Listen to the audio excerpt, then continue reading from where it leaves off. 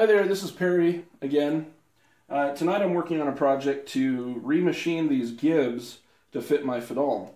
These are brand new gibs. I bought them as replacement parts, but the taper on the gib is not the same as what's on my machine. My machine's an older machine, and it appears at some point Fadal changed that taper. And I found out that my table is 1.203 degrees. That's about as close as I can measure because that's four decimal places. This is the number that we have to hit. I'm rounding it to 1.2 degrees because I'm sorry, but out to the thousandths of a degree isn't going to matter. This stuff is pretty squishy, relatively speaking. So I've got a set of gauge blocks set up in the Bridgeport already uh, to do this. I've got a 2047 stack and I've got uh, a 0.1 stack. Now, before I can get to the fun part of actually cutting the taper on this, I have a little homework, a little housework on this. See, these were belt sanded and they're not square. And that causes me problems because I can't clamp them because they rock one way or the other. And I don't want them rocking, so I'm going to have to clamp these up. I'm going to clamp them up like this. Take advantage of repeatability, as it were. I don't think these are too repeatable, but anyway, um, clamp them up like this in the vise, so that way I've got parallel surfaces. And then I'm going to take a skim cut on the top, flip them over, take a skim cut on the bottom, and in theory they should then be parallel and I can stick them in the vise on the sine bar like this. And I can take my cut. Now I do have to measure this little step right here so I can replicate it. It doesn't look like it's uh, super critical of a dimension, but it's something that I want to uh, take care of. I want to replicate that. It's basically, it narrows the bearing pad of the gib so that whenever it's uh, adjusted in and out, there's just this small bearing surface. And it also probably allows for just a smidgen of misalignment. Um, but anyway, next step, square up the edges, then I can clamp it on the sine bar. And uh, I'm not going to show squaring it up, that's boring. I'll show it clamped up in the sine bar, I'll take a couple cuts, and then I'll show you the finished parts. Okay, so I'm doing a little freehanding here so you can see what I'm working on. I have the gibs in there. I've squared uh, up the edges. So the face is square to the sides. The sides are parallel. They're clamped in there. I have the sine bar underneath here. I've got a quarter inch thick piece of ground stock that is clamping the gibs to the fixed jaw because the gibs are slightly narrower than the sine bar. So this sits up off the top of the sine bar. And then right here I've got a stop that is uh, wedged up against the sine bar and then I've tightened the vise down I've beat the the gibs down onto uh, the sine bar so uh, I have a cutter in here right now. If you look at this insert real closely that's the same insert that the Tormach Superfly uses. This is a Sandvik cutter. It's an R290, uh, R no RA245, and uh, it's a a high shear like 2.3 or 2.5 inch uh, cutter, and it's got five inserts.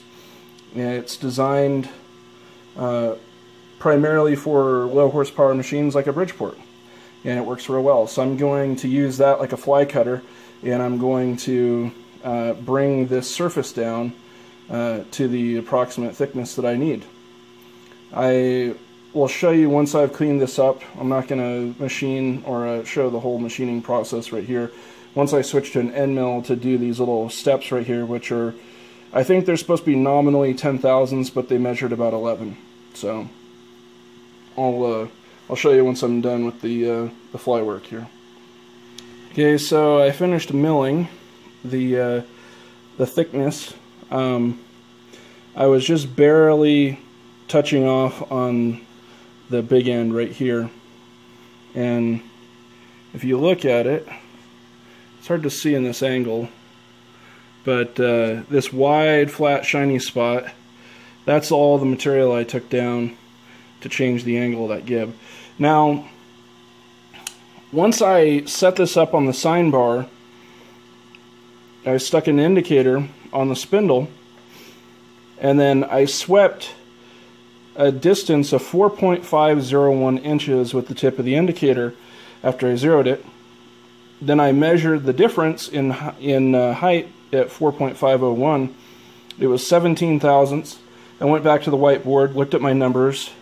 Uh, I subtracted the uh, the 0.95, which was 0757, uh, from 0.0945, and I got 17.9 thousandths or something like that.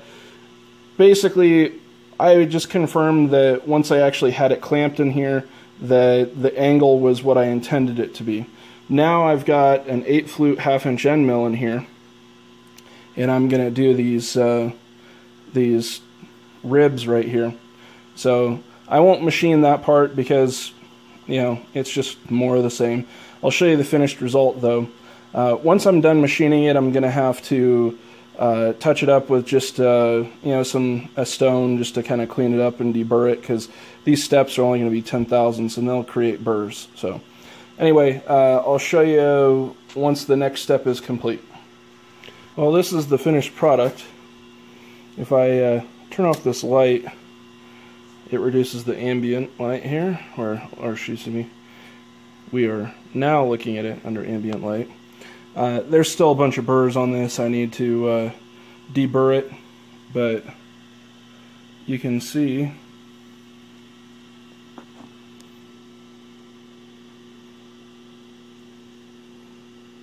there's the finished gibs. Okay, next we have to deburr them and then we will inspect them and try them on the machine.